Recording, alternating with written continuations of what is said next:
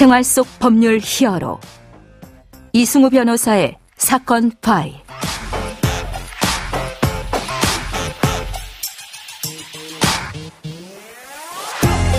안녕하세요. 이승우 변호사입니다. 각종 사건 사고에서 여러분을 구해드리겠습니다. 오늘 열어볼 사건 파일은 SM 엔터테인먼트 관련 사건입니다.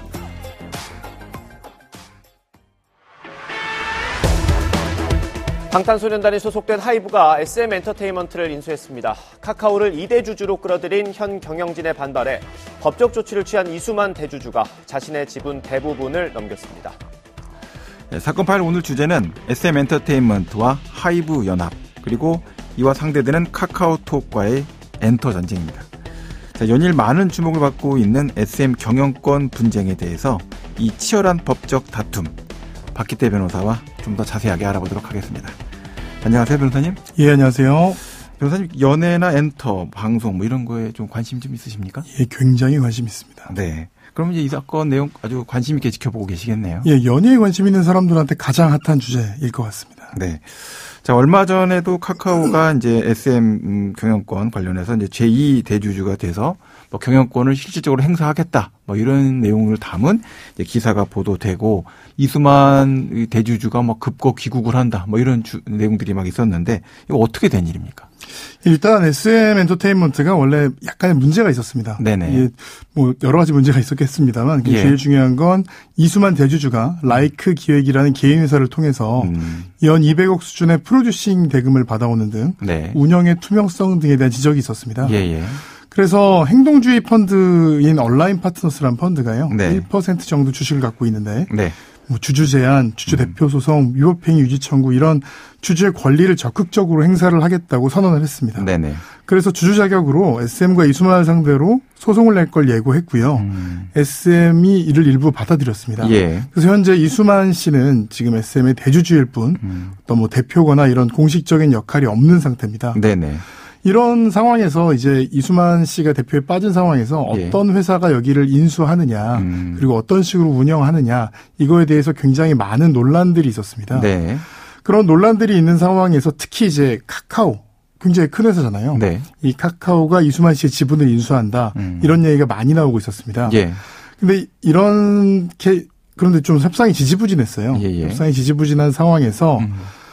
이수만 씨를 비롯한 측근들이 이사회 등에서 빠진 상태였는데요. 예. 현 운영진이 약간 긴급 이사회 의결을 통해서 음. 카카오의 123만 주의 신주, 예. 전환사채 114만 주를 제3자 배정 방식으로 발행해서 예. 지분 9%를 가진 2대 주주가 되도록 했습니다. 그, 그 급격한 이 지분 변동이 생기는 거네요. 예. 네. 그래서 당연히 이수만 대주주 시- 측에서는 반발하고요. 네. 현 운영진 카카오 그리고 아마도 온라인 파트너스도 찬성하고 있는 그런 상황입니다. 예. 지금 그러면 이제 이수만 대주주는 어떻게 이 절차와 관련돼서 어떠한 형태의 법적 다툼을 예고하고 있습니까? 이수만 대주주는 법원에 SM을 상대로 가처분 신청을 냈어요. 네. 그러니까 신주 및 전환사채 발행금지 가처분 신청서를 제출했습니다. 네. 약간 하지 말라는 거죠? 예. 네. 이 기존 주주가 아닌 제3자한테 신주 전환사채를 발행하는 경우에는 네. 경영상 목적 달성을 위하여 필요한 것이어야 되고 음. 또 필요한 한도에서 주주의 신주인 수권을 최소한으로 침해해야 됩니다. 음. 그런데 이 요건을 모두 충족하지 못했다는 거죠. 그러니까 기존에 있었던 주주들이 갖고 있던 지분율이라는 것도 의사결정과 관련해서 굉장히 중요한 문제가 될수 예, 있다. 맞습니다. 그리고 주식이 확 늘어나게 되면은 회사 가치가 급격하게 팽창하는 과정이 아니라고 한다면 주식 한 개당 가치가 이제 줄어들 수 있는 예, 예. 급격하게 줄어들 수 있는 이런 문제가 있으니까 이해관계가 충돌돼서 제3자 배정을 하려면 엄격한 요건을 갖춰야 된다 이런 예. 얘기인 거죠. 예, 그래서 우선 뭐 신주 발행, 전환사채 이게 뭔지 좀 설명을 드리면요. 네. 이 신주 발행은 간단히 말해서 예. 새로운 주식을 발행을 해서 자본금을 늘리는 겁니다. 네네. 그런데 자본금을 늘리고 주식의 숫자를 늘리면 시가총액이 만약에 그대로라면 예. 주식 하나당 가치가 당연히 줄어들 수밖에 예. 없어요. 추락한다고 볼 수 있죠. 예. 예. 그러니까 사실 뭐 주식하시는 분들은 뭐 유증 맞았다 이러거든요. 예, 예. 이 신주 발행, 전환사채 이런 식으로 유상증자. 네, 예. 이렇게 자본금을 늘리는 걸 유상증자 유증이라고 합니다. 네네. 그래서 그렇게 얘기할 정도로 심각하고 또 이제 이수만 씨 같은 경우는 음. 네네. 무슨 문제가 있냐면 음. 본인이 의결권을 18%를 넘게 가지고 있었는데 네. 이번 신주 발행을 하면 15% 이내로 떨어지게 되는 거죠. 예. 그럼 본인의 경영권, 음. 주식의 가치가 굉장히 떨어지게 되는 겁니다. 네네네. 자, 신주 발행 전환 사채까지 이제 설명을 해 주셨는데 이 전환 사채는 한참 또 예전에 그 삼성 예. 전환 사채 사건을 아주 시끄러웠었던 그런 내용이 있어서 그런데 예, 예. 전환 사채 뭔지 한번 좀 좀 더 설명해 주시죠. 아까처럼 회사가 현금을 확보하기 위한 방법은 크게 두 가지가 있습니다. 네. 첫 번째는 신주를 발행하는 방법이고요. 새로운 주식을 발행을 해서 새로운 자본금을 받는 거죠. 예. 네. 두 번째는 회사가 그냥 은행이나 어디다 네. 돈을 빌리는 방법입니다. 네네. 사채. 예. 회사채라 그러죠. 이 회사채. 두 개를 합한 것을 전환사채라고 합니다. 네네네. 한마디로 회사채를 발행해서 음. 돈을 빌려서 돈을 빌렸지만 음. 이 회사채를 어느 시점이 되면 신주로 음. 바꿀 수 있는 걸 얘기합니다. 그러니까 회사의 채권으로 발행을 해서 팔았지만 그 채권이 어느 시점에 조건을 성취하면은 주식으로 전환될 수 있는 권리가 붙어 있다. 이해 맞습니다. 이런 개념이군요. 네. 이런 걸 왜 하냐면 음. 신주를 발행하면 네. 기존 현재 주주들의 어떤 반발이라든가 여러 가지가 예상되잖아요. 음. 근데 반면 이 전환사채 같은 경우는 그 조건이 성취되기 전에 돈을 갚으면 사실 문제가 없습니다. 네 네. 그래서 아무래도 약간은 충격을 좀 늦- 늦추는 방식으로 많이 사용이 됩니다. 못 갚으면을 전제하고선 발행될 수도 있겠네요. 이 지금 얘기하는 것도 사실 다 못 갚는다, 안 갚는다를 전제로 얘기하고 있습니다. 네, 알겠습니다.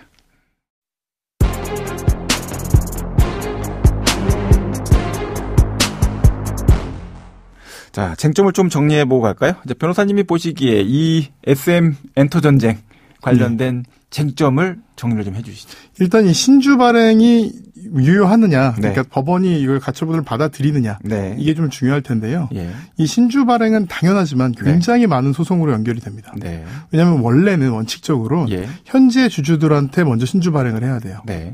그래서 만약에 현재 주주들이 인수하지 않는 주식이 있으면 음. 나머지 부분은 실권주라고 하는데 네. 이거를 이제 제3자한테 파는 게 기본입니다. 그러니까 주주들이 기본에 있었던 사람들한테 야 주식 우리 새로 발행할 거야 살래?라고 물어봤는데 아 나 돈이 없어서 못 사겠어. 예. 라고 할때 남는 그 부분에 대해서만 실권 처리를 해갖고 예. 제3자 배정할 수 있다. 예, 원래는 원칙이다 그렇습니다. 이런 얘기인 거죠. 아까 말씀하셨던 삼성 사례 같은 경우 사실 그렇게 했었죠. 네, 네. 그런데 이렇게 아예 이번 겨- 경우처럼 네. 아예 뭐 제3자를 지정해서 제3자 발행하는 경우엔 음. 이게 공정하냐. 예. 그리고 기존 주주들의 권리를 침해하면서까지 음. 제3자 신주 배정을 해야 될 그런 어떤 이유가 있느냐. 이게 네네. 지금 문제가 됩니다. 네.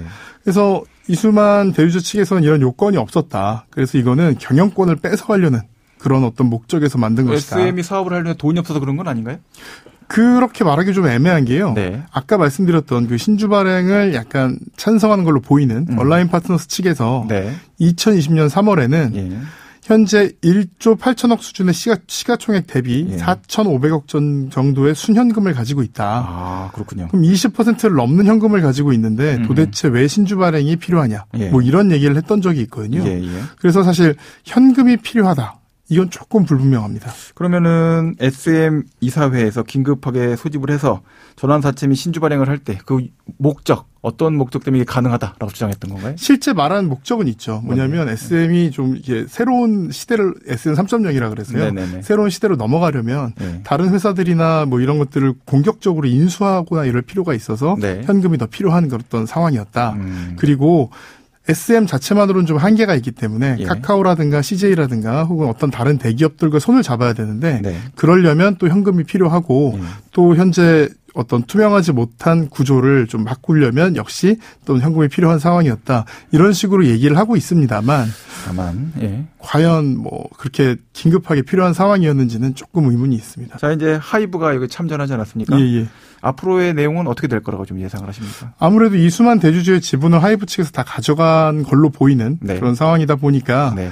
하이브 측이 아무래도 음. 일대 주주로서 더 유리한 입장에 이 되는 건 맞습니다. 네. 다만 이 신주 발행이 그대로 인정이 된다면 음. 사실 압도적인 대주주는 아니거든요. 예. 그래서 카카오와 하이브 측에서 어떤 주주 총회마다 음. 계속되는 어떤 그런 전쟁을 해야 될 가능성도 있고 음. 그건 이제 뒤집어 말하면 다른 주식들을 사기 위해서 서로 노력할 가능성도 꽤 있습니다. 거기다가 이제 어, 하이브 입장에서 이수만 대주주하고의 어떤 역학 구도 이걸 어떻게 설정했을지도 사실 초미의 관심사지 않을까. 예, 실제로 하이브 측에서 이수만 씨와의 어떤 관계 조정을 어떻게 할지 이 부분을 모두가 관심을 가지고 매우 중요한. 법률 관계가 될 것 같네요. 네네. 네. 지금까지 박기태 변호사와 함께했습니다. 오늘 말씀 고맙습니다. 예, 감사합니다. 생활 속 법률 히어로 이승우 변호사였습니다. 내일도 사건에서 여러분들을 구해드릴 사건 파일 함께 알겠습니다.